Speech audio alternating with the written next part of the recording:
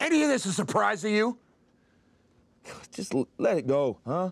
Surprise to you, Sugar? I don't really know what you're talking about. Guess I'm the only one with any f***ing balls here. It's a goddamn money. Just let let it go, all right? No!